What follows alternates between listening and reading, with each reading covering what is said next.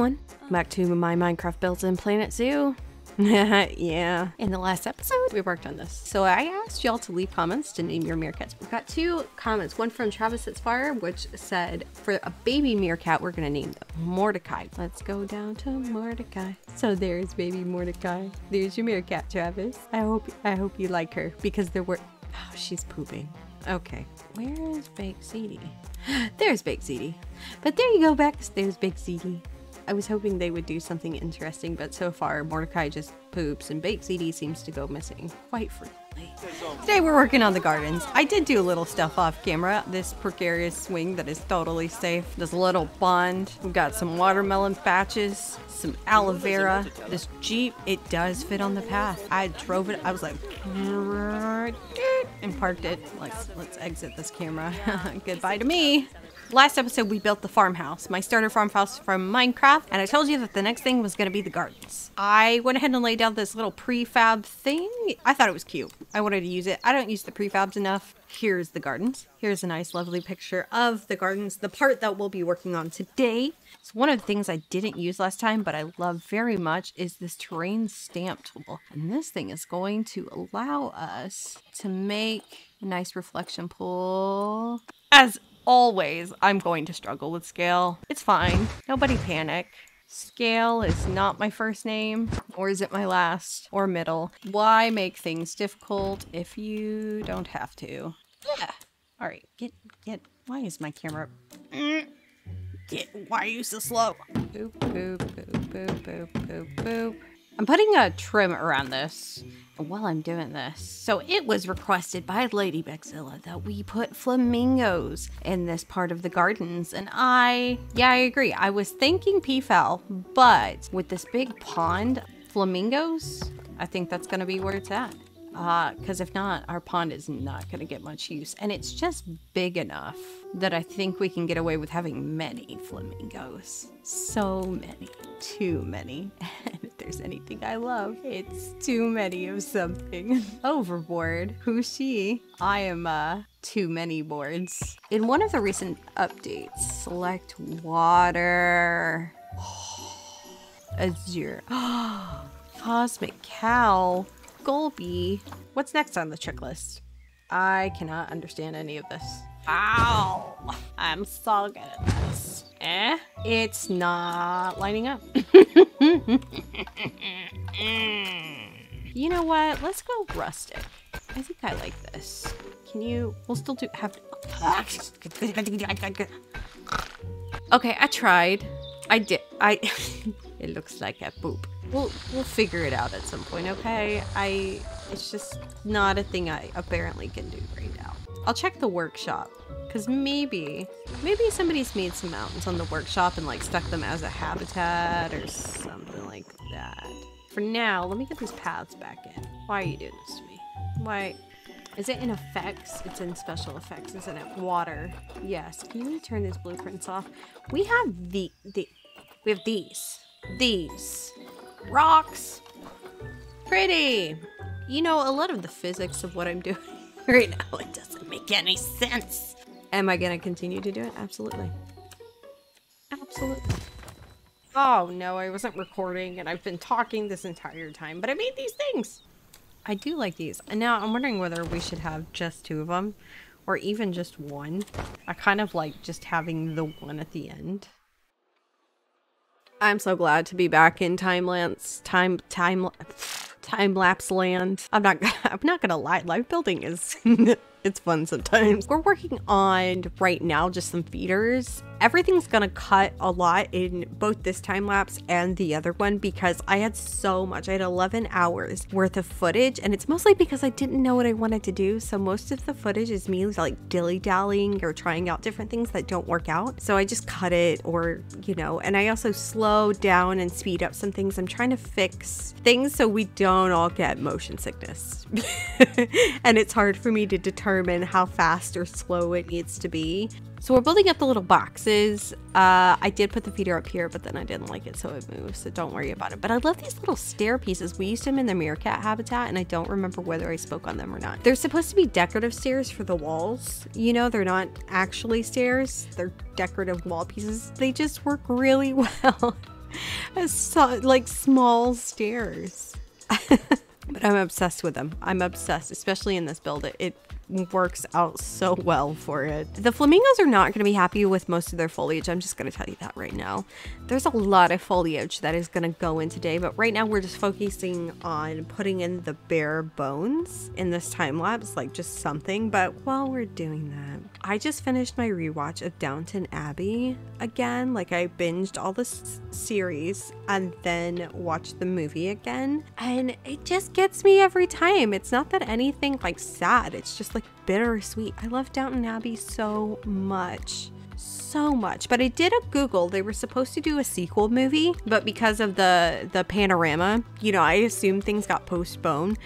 But I really hope that they are able to film it and get it out and that the studio say yes we're absolutely going to do this because i just i need that i need some happy i need some like feel good with like a familiar character set you know what I mean? Like, have you ever watched a show for so long that those characters are just like your comfort characters? I don't know. There's my Downton Abbey rant right there for a second. But we're to finish getting all of the bones together and then go back into doing some more building.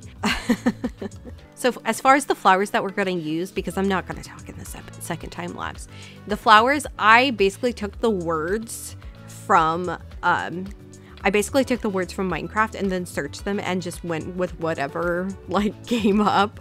And if that didn't work, I just scrolled through and I was like, that's purple, you know? Like we don't have tulips or anything like that. I found that we don't really have any of the flowers like that are the same names. They're probably just named something different because I am we have roses, but we don't have red roses. All right, enjoy the rest of the Okay, I've had a sleep. Now it's flower placing time. This is what I have so far. I love this. Look at the little flamingos. I don't know which part these were for. Times. Oh, okay. It's for the time scenarios. So what I did in Minecraft is I just randomly placed stuff, which is what we're gonna do now. So let's, I just went like this. Boop, boop, boop, boop, boop, boop, boop, boop, boop, boop. Stop it. We need the purple ones since we don't have alliums. It does look like a hot mess. I'm not gonna lie. It looks so questionable. Can the people even see into this once I put all these flowers in? Probably not. But you know what? Is this bark for the people? No. It's for me. It's for everything I want. All the choices that I want to make. I mean, but to be fair, okay, reference photo. There's a lot of flowers in that reference photo. There's like a lot. I had to farm so many. Honestly, honestly, the goldenrod really, really helped. Editing me here, just making a note that I used prefabs for the staff buildings. I think it's like the India theme. Apparently just didn't say it in the video and assumed you knew. I didn't build those. They're really pretty though. Flamingo. How many do we have? Not enough, but we can start with these. Serious injury? From who? How did you get injured? Amelia. How? Now that we have flamingos, let's finish this out in our second time lapse.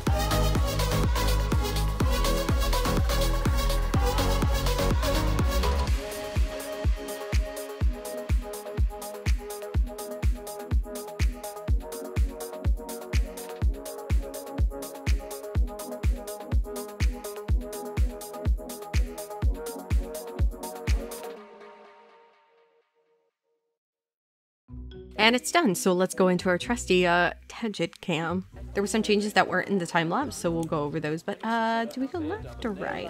Let's go left. It feels unnatural. But here's our gardens. Um, I was right about the plants being a little tall, but they can still see the flamingos. Oh my gosh, there's what is with the litter? There's trash cans right here.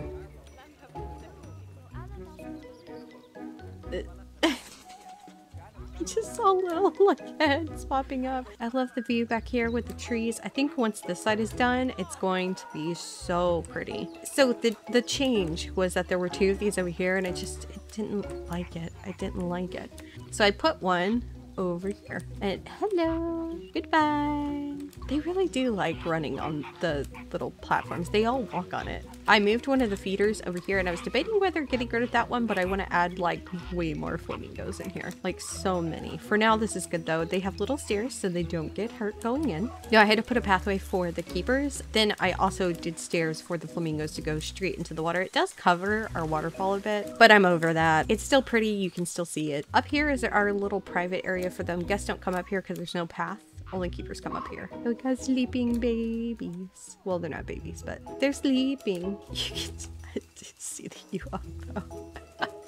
Let's head up here. This came out better than I, I thought. Uh, once we get this trail done, it's gonna be so pretty back here. I like the pots. They are a little place, strangely, but they kind of cover up uh, flaws.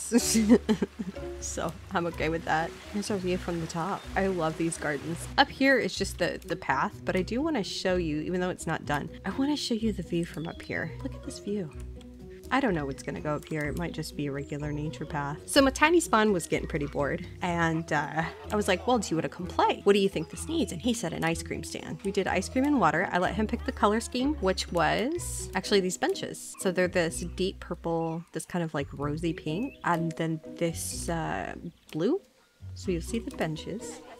I'm so he's so cute. He's just he's a tiny spawn, and uh, and then we used a prefab shell for the shops. I say we because he did help me, but look, this is this is the part I love the most. My small human has an eye for detail. And one of those details is lighting. This was him. This is his little I'm so proud of him. So if he's watching, this is you. This is your ice cream shop. And it looks amazing. Oh, right. We have to get like a side by side, which is just going to be do, do, do, do. Eh? We went a little overboard. It's fine. I've had a lot of fun building this and it was quite the experience. Um, quite the experience. So uh, thank you so much for watching. If you liked it, please hit the like button. And if you want to see more, subscribe. And as always, oh, we're running. We're running somewhere. yes, get it. I will see y'all in the next one.